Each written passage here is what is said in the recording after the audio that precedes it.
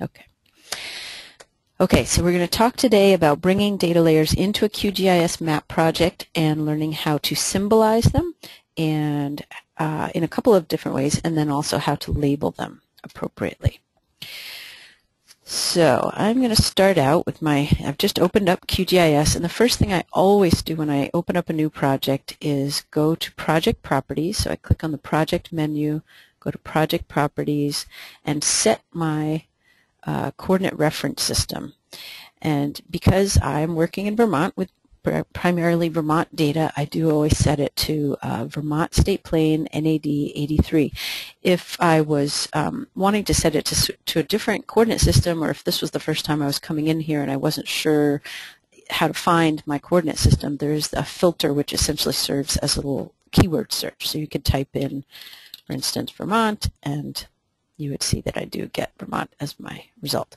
So once I click on that, highlight it to choose it, I just click OK, and I can, let me just go back to that for just a second. You can see that um, the Vermont uh, state plane system has this little code associated with this EPSG code 32145. And I can confirm that I have set my uh, project appropriately by going down in the far right corner of my screen and you can see that it says EPSG 32145. So once I've done that, I can start bringing data in because now if I were to bring in data that was in a different coordinate system, as long as there's a projection file associated with it, the software can do the transformation necessary to make sure everything continues to line up. So I'm going to add three data layers now to get started just so that I have polygon line endpoint. So you can see that this is automatically going to a uh, folder called, on my C drive called Intro GIS Data. So this is the data that I use for training I do during the summer. Um, obviously if it hadn't gone here automatically I would have just navigated here. And the data layers I'm going to add are town boundaries, major roads, and um, airports. So notice that I can highlight three different data layers here. I'm just holding down the um, control key as I do that, and that way I can highlight all three that I click on and open all three at once. When I do that, it doesn't put them in the right order, so I am going to fix that quickly so I can see everything. So um, again, if anyone's not familiar with it, uh, with how GIS software works, it draws the image in your map area from the bottom up of your list. So we have a list of three data layers over here, um, a polygon layer showing town boundaries in Vermont, a line layer uh, showing major roads in Vermont, and then a point layer showing airports. And I wanted to make sure that my town boundary layer is on the bottom since, since it's an opaque polygon layer right now. Uh, so now that we have our data layers, we're going to go ahead and start changing the symbology. And in order to do that, I'm going to start with the airports. I simply right-click on the name of the data layer that I want to work with. Go down in this context menu to Properties. And since what I'm interested in is symbology, I'm going to make sure that I am in the Style section. So QGIS refers to um, symbology as style. And this is where I can now manipulate my, my uh, how my data layer is represented. So initially, we have obviously some default settings here. It's set as a circle, default color, and this is somewhat random, um, comes in as purple, and it's, um, it's a pretty simple symbol. So all I want to do is show that I can change this to something else. I'm going to choose a, a triangle. I'm going to change the color to red, and I'm going to change the size. So the most important thing here is just to look around at all your options. you also have transparency settings. Um, you have a number of different symbols in here to choose from. And uh, for now, all I really want to do is change that to a different symbol, different color, slightly bigger size. And then if I wanted to play around with this more and try out different things, I could click the Apply button, and you'll see that it does indeed apply, but that it keeps the layer properties open. Since I just want to do that, I'm going to go ahead and click on OK. All right, so next we're going to look at the roads layer. So once again, just right click on the name, go into properties, make sure we're in style, which generally it will be if that's what you just did. Um, notice that your symbol options are different because now we're looking at a line, a line uh, data layer. And we have some options here in terms of whether we want to go with a slightly fancier looking line as pre-symbolized over here, which we can then also change. We can pick something and then change a color, for instance. Um, notice that this symbol is slightly more complicated uh, in that we really have two aspects to it. We can change the, um, the fill of this two-part line. So in this case, we've got some light blue fill. We could change the color of that fill if we wanted to, maybe to gray. Um, we can also change the outline of that line. So here we've got brown. Maybe I want to change that to a dark gray. Um, obviously, you can change thicknesses of both. Um, we've got solid lines as opposed to dot dash. Also a few options in there.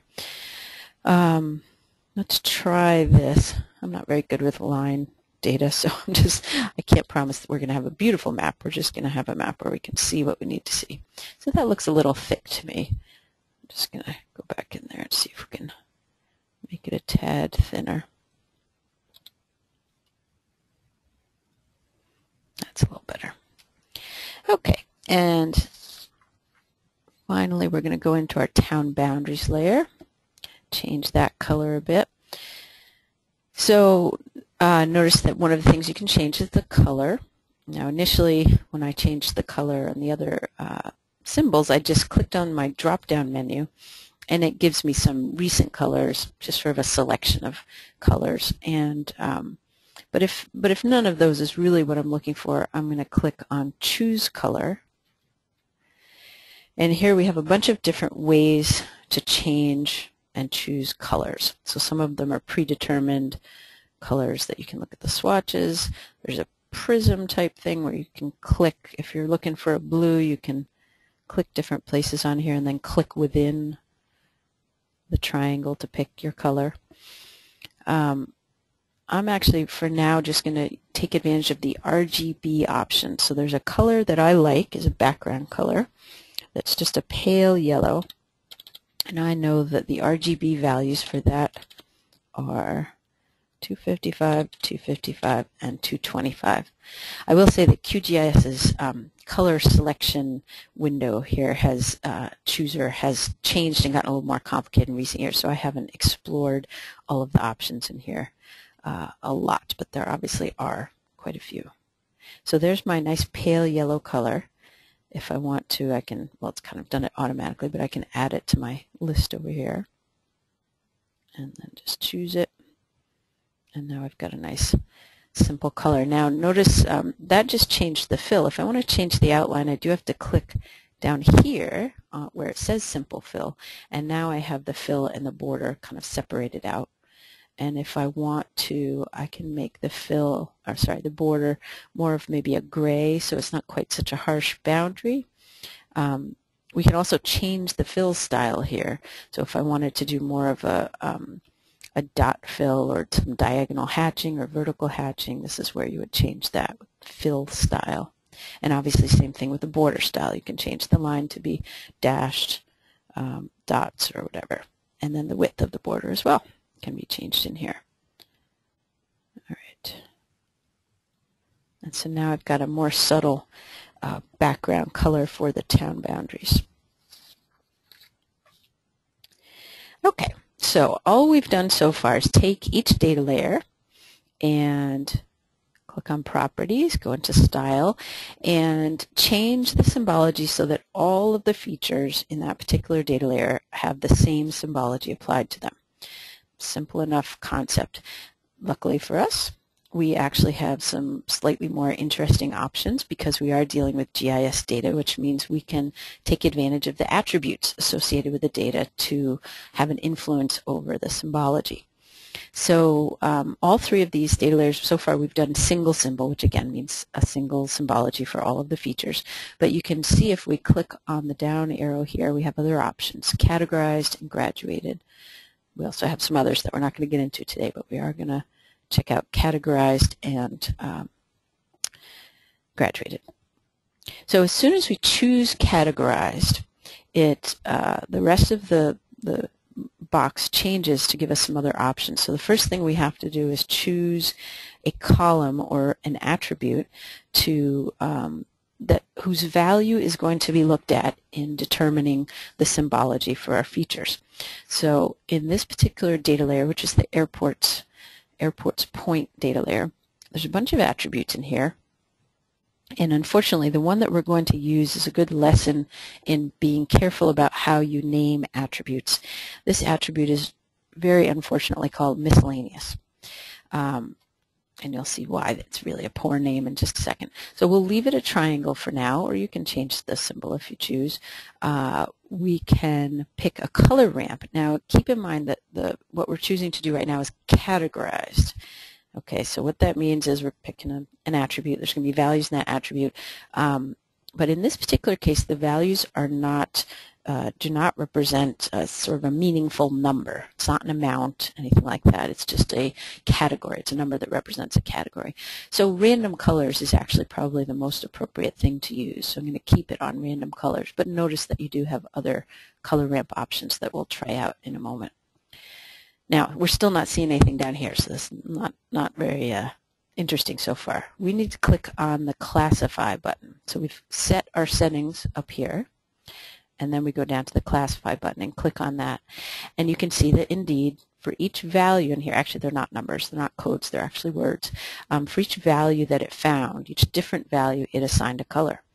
So even though we have some number of attributes in there, 15 or 20 airports, um, each one that had the same value in that attribute is getting us going to be assigned a particular color.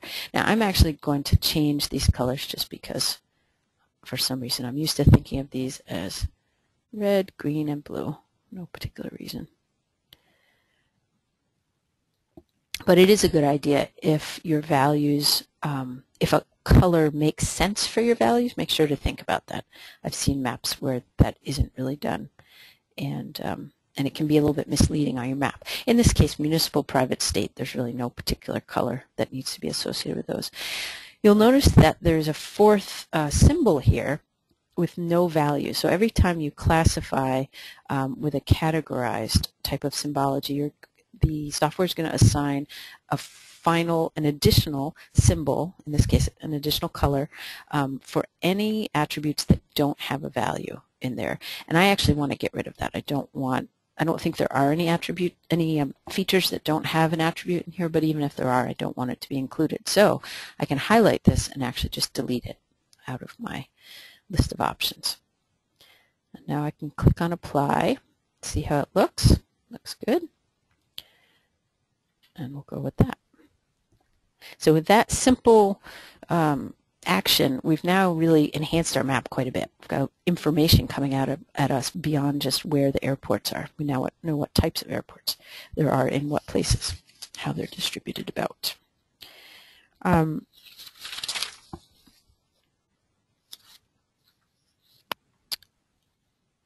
okay. Now we are going to add another data layer a vector data layer. And notice we're just working with vector data today, so I have been using the Add Vector Layer button. And we're just going to add a county data layer. So it plops on there, and because it's opaque polygons, it covers everything up. But rather than moving, well, actually, I am going to move it but it's still going to cover up my town boundaries. And so what I want to do is take advantage of these county boundaries but not have the polygons completely obscure the town boundaries.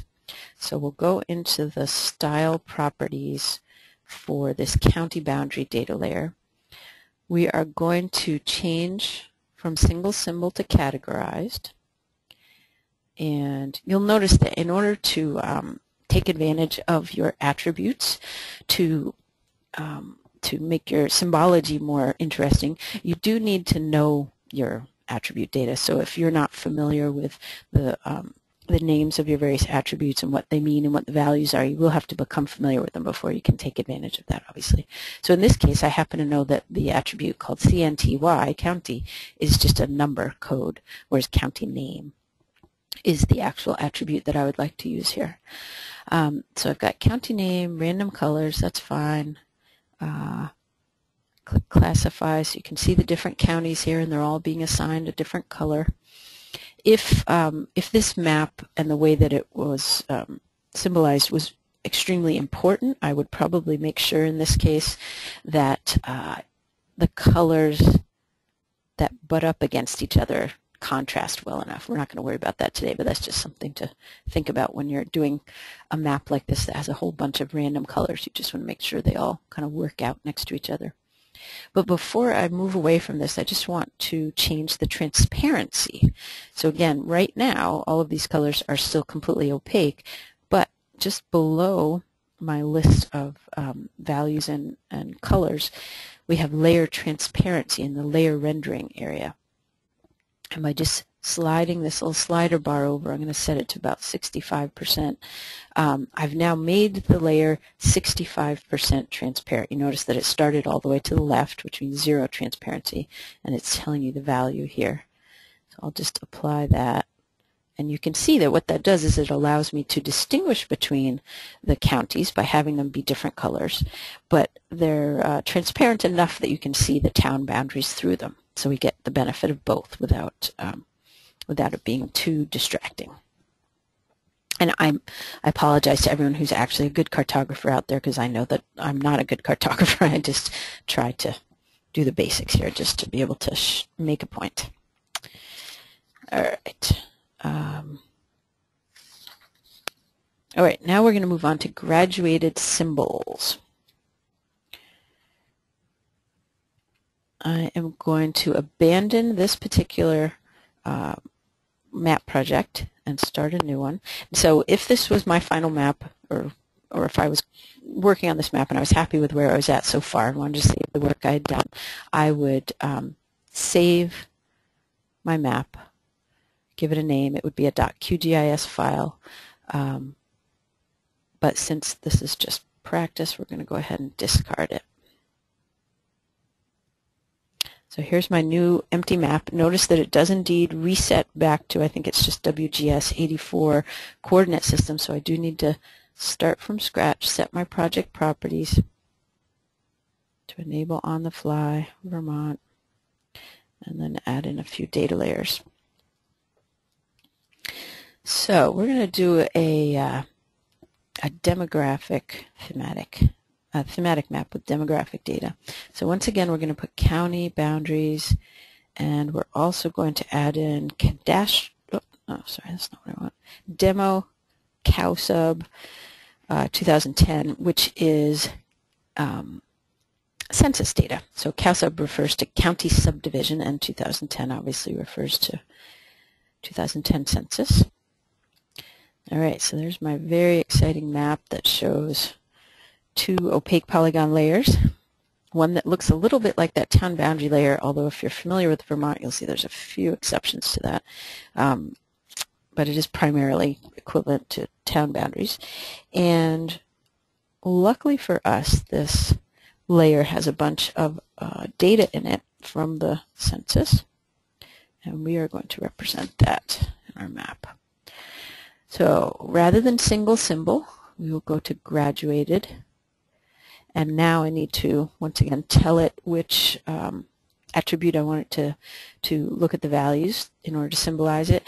And this is a good example of where it's important to be familiar with your data because this uh, data layer includes census data that still retains the census um, names, the names of the attributes. We didn't give them more intelligible names. And um, what that means is we need to know the meta, have looked at the metadata to know that this is actually the uh, attribute that I want because this is the population attribute. So I've set that. Now because we have chosen graduated, we have some options about number of classes, Also mode, meaning how it's now looking at a um, continuous array of, of possible values and it needs to know how to break them up because there's um, there are so many unique values. You obviously don't want to assign a unique color for every unique value of population. So it's going to divide them up into classes. And we're going to start out by actually setting this to quantile. And you'll notice that it says equal count. And we'll see what that means. And an unfortunate thing about QGIS is it no longer includes the, um, the count, actually the number of features that fit within each of these categories. Um, because if it did, you'd be able to see that for the quantile mode, equal count does indeed mean there's an equal number of features, in this case county subdivisions, in each of these categories. So that's actually how it determined where the breaks would be between these categories. The software looks at the data and it says, okay, there's this many features. We're going to divide it up by five. There's going to be this many features in each group. So the first, that number of features that um, come along define the, the um, population limit for that particular group. So you can see the first group goes from 0 to 627. So for those of you who are from out of state, this really is the population count for various towns in Vermont. Um, 0 to 627 and so on up. And each, um, the differences between the groups in terms of what the population ranges are can be huge, as you can see.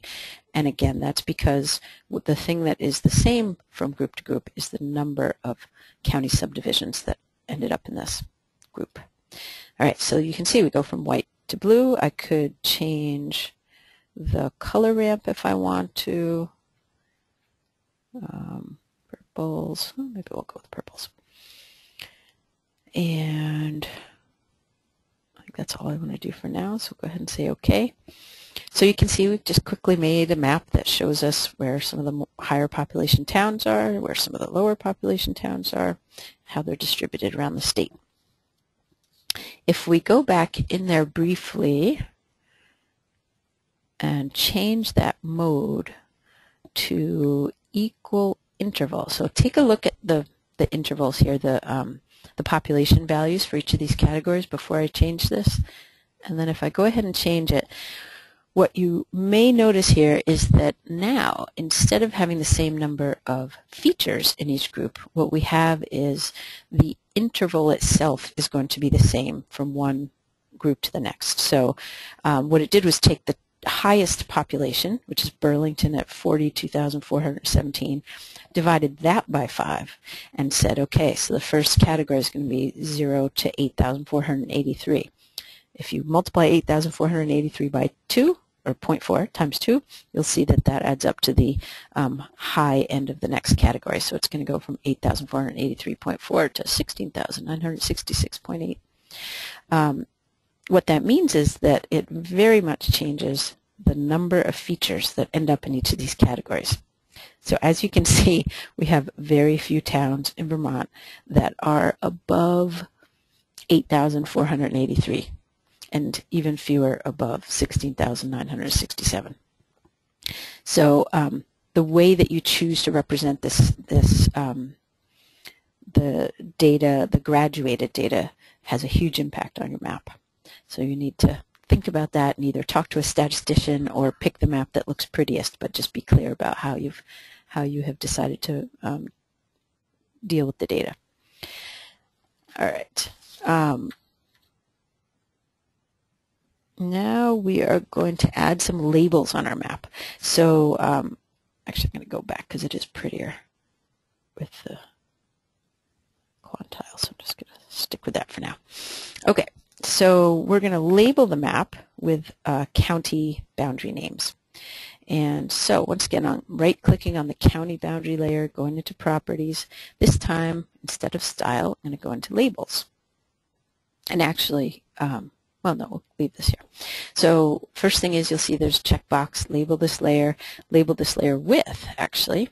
And so the first thing we need to do, once again, is point at the attribute that we would like uh, the software to use to label. And the only other thing I'm going to do right now, I'm going to mostly leave the defaults except down here in buffer. So notice that each of these words in this area are indicate a section. So in buffer, I'm going to go ahead and draw a text buffer. Leave the defaults. You can obviously change these defaults if you want to. The size of the buffer, the color of the buffer is by default white. Um, lots of things you can change here, but I'm just going to leave those and then say OK. So all that did was very simply apply uh, uh, county labels, county name labels. Uh,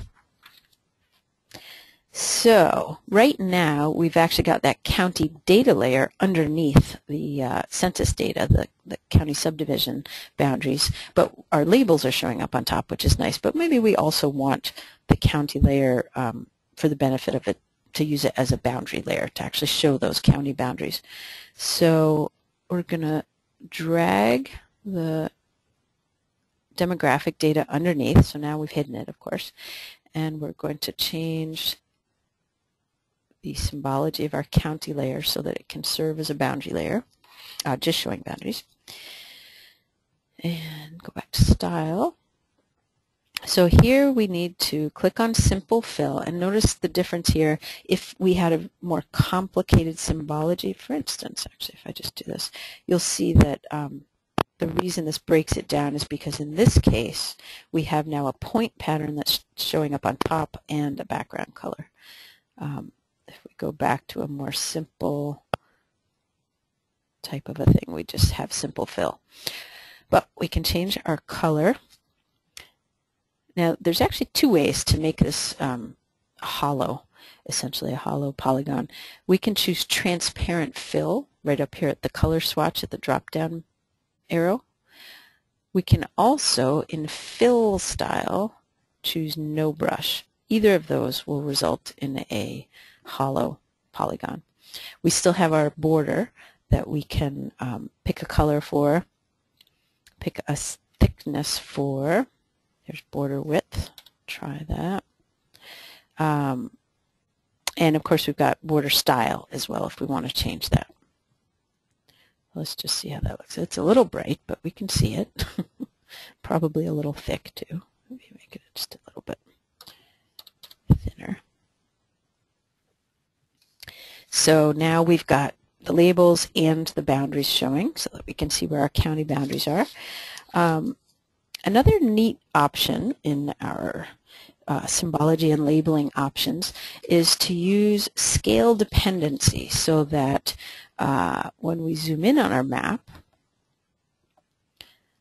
we don't keep seeing exactly the same uh, labeling and actually even well, we're not going to get into that today, but we can also set scale dependency to show layers or have layers not show at different scales in exactly the same way as we're about to do with labels in a slightly different spot. So what um, do I want to add in? Oh, actually, let's add, let's go ahead and add the um, labels on the county subdivisions or the towns first, just so we can see that it's going to look a little crowded if we just have them all on there. So I'm just in that county subdivision layer. Again, I know that name 10 is the attribute that's going to give me my uh, town names. Clicking on buffer, so I can draw a text buffer. With, with this type of symbology, it's somewhat hard, challenging to get um, the right color on your label, so having a text buffer is a really easy way to make sure it stands out. All right, so now we got a big crowd of town names. We don't really want those to show at um, this fully zoomed out scale. At this scale, we really just want to see the county names, but when we zoom in more, we'd like to see those town names. So let's set some scale dependency in our labels. So first I'm going to go back to the county labels and I'm going to go down to rendering. So this is where I, as you can see, I have scale-based visibility options. I'm going to turn that on. And rather than my minimum being 1, I am going to change this to 350,000. Hopefully I've got the right number of zeros. So think about what this means. Um, also keep in mind that this is one of the reasons that we always set our uh, our coordinate reference system when we start is so that the software knows what the units are in our data and uh, it helps you both with um, measuring if you need to measure on your map but also in this circumstance where we are concerned about scale-based visibility it needs to have an accurate idea of the scale. So when it knows the units of our data um, for instance, Vermont State Plane is in meters. It needs to know that in order to have an accurate uh, depiction of scale. So we've now set it so that this these labels will only show if we are zoomed out to a scale of at least 1 to 350,000. All right, so if we're at a scale that's smaller than that or larger than that, actually, um, we shouldn't see those labels. Similarly, on the town labels, we're going to go into rendering, scale-based visibility. Now this time, we want to set the maximum to a limit because we don't want these labels to show when we are out beyond 350,000.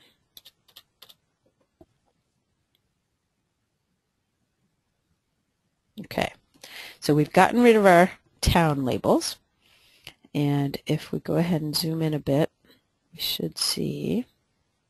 So um, before I zoom in anymore, notice that down in the bottom of our map project, we have the scale being shown to us. So in this case, it's a scale of 1 to 388,846 at the moment. Click in one more time, and I've now gone to a scale of uh, 1 to 194,000, which is obviously a larger scale than 1 to 350,000. So now our town boundaries have shown up. I'm sorry, town labels. If I zoom back out a step, so you can see that the county labels are showing right now. And when I zoom in, the county labels are actually gone and the town labels are here. We can um, be even a little bit more specific about this by setting the scale directly. Whoops. So if I just highlight whatever numbers are in the scale box and then type in 350,000, I don't notice that I don't have to type in the 1 and the colon. I just have to type in 350,000. It knows what to do with that. And then hit enter. So now it's at a scale of 1 to 350,000. So apparently the way this works is that when you set your minimum, that's an inclusive minimum, whereas when you set your maximum, which is what we set for the town names, um, that's an exclusive maximum. So if I set the scale now to 1 to 349,999, we get the town names and not the county names. Okay. All right, and that is pretty much what I had planned to talk about today. So this is your opportunity to ask questions. Um, obviously what we covered today is pretty straightforward, pretty simple. I'd be happy to fool around with some of the other settings in there. Um, as you saw, there's a lot to change, and so I'm happy to do that, but I want to make sure people have a chance to ask about the basic stuff first uh, before I try to get too fancy, especially given that I don't actually have um, a lot of skill and knowledge with some of the fancier settings in the in the um, labels and symbology. Okay, um, so Jessica asks a question that is actually going to be answered in our next webinar, which is not currently scheduled, but I'm hoping I will be able to schedule soon for sometime in March. Um, she asks, how do you title or legend a map to print? So how do you put a title or a legend on your map? Since, as you can all see, this is a pretty bare bones map, and I don't, um, I could actually put some text on here, but that isn't how you would deal with it. Um, I will briefly say that there is a function in here. If we go up to the tabs and tools and things, um, come on, hover. Generally when you hover over things, it tells you what they are. It's not for some reason. Um, this is the print composer. So these two icons that look kind of like a horizontal piece of paper. One of them has what looks to me like a snowflake, but I think it's supposed to be a symbol that means like new, something new. When you click on that, it says, oh, you're going to create a unique print composer title. Uh, you're going to create a print composer, now put a unique title in here. So if I just call it my map, that's just the name that it gives to it. So now we're in uh, print composer mode, and here's my map that I am now about to compose. As you can see, it's just like when you start um, project. It's completely blank. You have to start adding in all your elements. And so what you would do is add in your map element, your titles, your legend, um, and we will go into that in more detail in the next webinar. Or you can actually look at an old webinar that I've posted on our YouTube page that, that shows that process as well. Any other questions out there? I might go in here and see if I can find any interesting uh, options.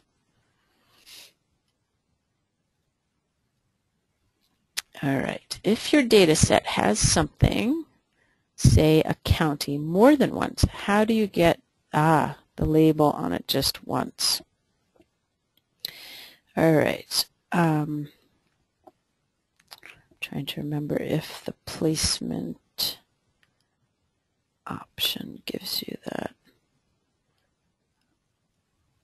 No. Let's just see.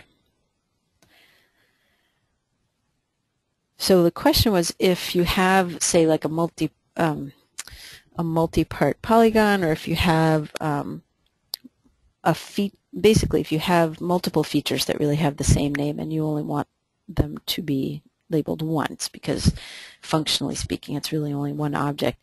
Um, how do you avoid having it be labeled multiple times? And I'm not sure I know that right off the top of my head. I was wondering if there was an option in here to set that, but I don't think there is. So if anybody knows the answer to that, feel free to type that in. Um, the only the only thing that I can think of is that in that case you might actually end up manually labeling things if it's something that um, is easiest, most easily dealt with in workaround format by simply manually labeling rather than automatically labeling, especially if it's something that you can easily get that one label off and add one label, or if, um, I'm not sure what you would do if you had that problem throughout your map. Um, you might have to come up with a different solution for labeling than automatic labeling. So I apologize, I don't have a good answer for that one. Um, how did I pick the scale of 350,000? That was honestly somewhat arbitrary, somewhat based on the person who actually um, wrote this manual many years ago, I think said it that way. and because of the size of Vermont, it just kind of works and makes sense. Um, and how do you manually label? Yeah, I knew that was going to be the next question, David. Uh, let me just close this. Okay, up here somewhere we have annotation. So, um, so text annotation just means writing something on your map. So up, just do that one more time to make sure everyone saw. So there is a symbol up here that looks kind of like a call out, and then there's a little drop down arrow. There's a few different ways that you can do this. And again, I haven't done a lot with this, so it's a little dangerous for me to try some of the other options. But text annotation just means literally manually writing something up here. So you can see that it automatically puts in some text, QGIS Rocks. If I double click on it, I now can label this um, you have certain amount of control over this, but it's obviously not the same as a nice label. Again, it's it's pretty much determining that it's going to look like a call out. So that's one way to label. It's not necessarily the best, but uh, and actually, I just want to um, background. We can make background transparent. We can make frame transparent. So, so we can, um, I could make the color white, everything else transparent. Oops, that didn't work.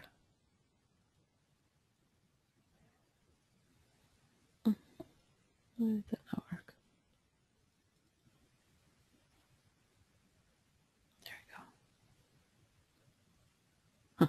Well, it doesn't seem to want to let me do that, but it's all right.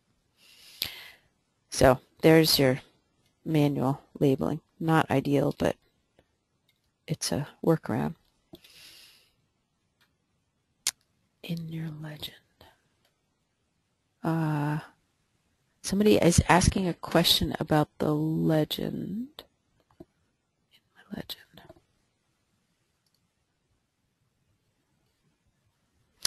Um, yeah.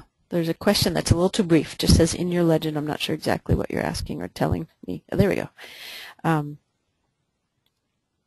in your legend, I see that 627 value is repeated twice. Oh, that's, um, to be honest, I think that's just, let's look at that for a second.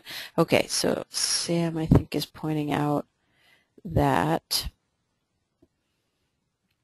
um, the values, the, the categories uh, appear to have the values at the beginning and end of the range in both both uh, categories. I think in reality it's in terms of the actual values it's not doing that, but I think that might just be an oddity of that nobody noticed that that doesn't make sense for labeling the legend. And I have to admit that I don't know off the top of my head. I would have to check. Um, I would have to dig into it just a teeny bit to figure out which category the 627 was actually being put in, for instance, in the one the 1099 but it obviously is it's making the break somewhere so it's putting the value in one or the other not both. That's a good question though. Any other questions? Maybe I should stay in there for a moment Oh, okay. That's a good point. So um, that's something I didn't point out uh, this column is showing you the actual values that it's finding and that it's using to create the categories. This column is actually what appears in your legend. So, um, oops, what did I just do? Oh, there we go. Um, so for instance, I could make sure that my legend labels, whoops, say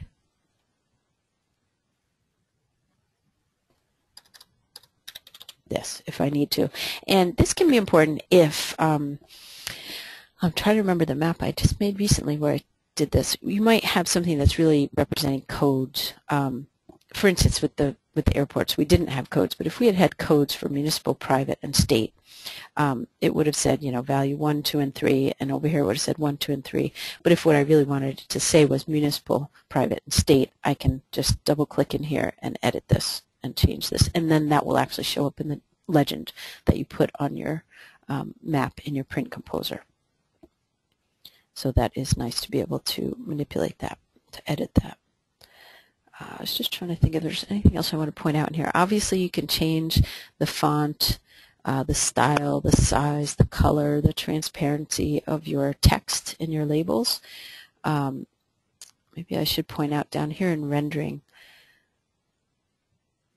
or actually, sorry, in placement. So sometimes with things like our town labels, town name labels, labels um, if we did actually want them to show up at this scale or at a slightly more zoomed in scale, but, but what tended to happen was they overlapped each other or they kind of knock each other out because if they overlap, the software really doesn't want to have overlapping. So sometimes you just won't see some of the labels. You may need to look at your placement options and um, or if, also if you have two different sets of labels that seem to be competing with each other a bit, you can um, you can determine that some of the labels maybe are going to be a little bit more to the upper left and some perhaps to the lower right. You can also determine uh, set that certain um, data layers labels will have a higher or lower priority, which means if they do conflict, the one, the layer that has the higher priority will show, and the layer that has the lower priority actually won't show the label. Um, let's see. Trying to think what else I'm familiar with in here. You can obviously rotate your labels, give them an angle. Um, you can offset them from uh, from the feature itself. So if you don't actually want it on the feature, but offset from the feature, you can set that. We can obviously do shadows. You can have a background on your label rather than just a buffer. Um, Okay, I think those are most of what I wanted to point out in there. Uh, I also just, let's see. Yeah, I guess just point out that when you get into slightly more complicated symbol options, you do, generally you can dig right in there and, and change everything. So in this case where there's a point pattern fill, you can change the spacing of the, the points and, you know, pretty much all as I shouldn't say all, many aspects of it are fairly easy to change. You just have to remember to click on stuff and kind of dig in a little bit to find it.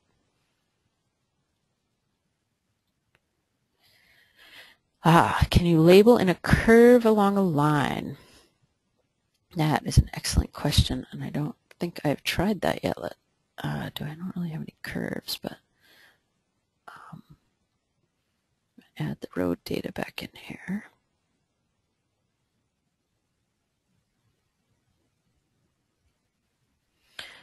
Let's see.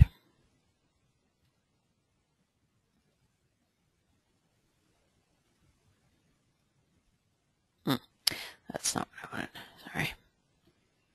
Um,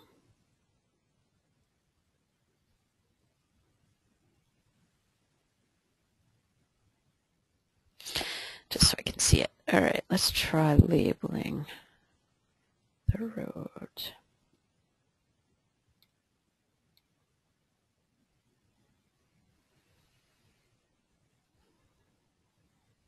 This would not be the the um, layer that I would use for this. All right, text formatting, background placement. Ah, yes, curved. Bobline online. It's not going to be pretty, but let's look at it. And this isn't a great example because the they're not. Whoops.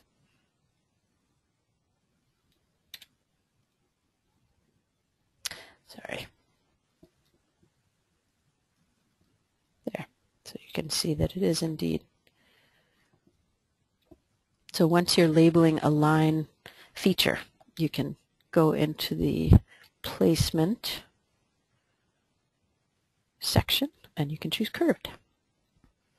Good question because I hadn't tried that before. And again, notice that you can you can um, you can position your labels a little bit away from the feature. So this would be an example where you might want to do that above the line a little bit.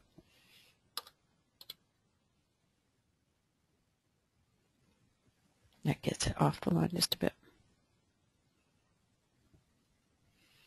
Okay, any other questions out there?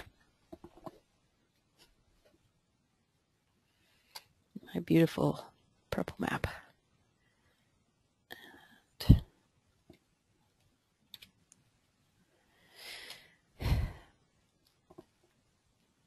There we go. Okay, I think if we have covered everything that everyone can think of for my level of knowledge at least, um, hopefully if nothing else this will inspire you to go out and um, gather more information if you need to. If I haven't covered as much as you'd like to, to um, find, I encourage you to go do a Google search, go do a YouTube search. There's a lot of QGIS training out there and a lot of videos. So um, if you're looking for something more in depth, I'm sure you can find it. And if you, and I really appreciate if you'd all take the time to answer the uh, survey that will pop up when you sign out. Uh, the information that you give me in that is really helpful, and I always use it. So thanks, and I hope everybody has a good day. And remember, this will be posted probably within a few hours. Thanks.